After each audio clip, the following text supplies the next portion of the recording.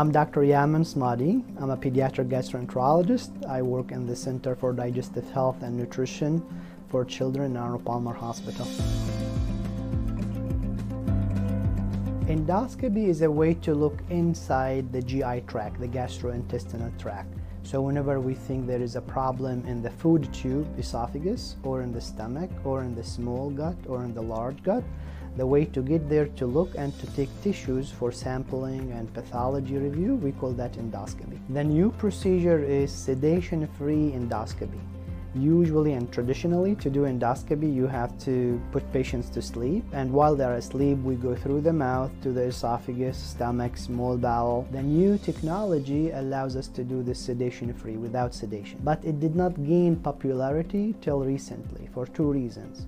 One, the need. Now there is a disease called eosinophilic esophagitis, which requires multiple endoscopies, serial endoscopies to check the disease status, the treatment response. And the other reason that this gained popularity is the technology now. As you see, the new uh, scope is way more slimmer and it allows to take enough and adequate biopsies, which when we did it in the old ways, we used other scopes to do the procedure. They were either big or were not big enough to take biopsies.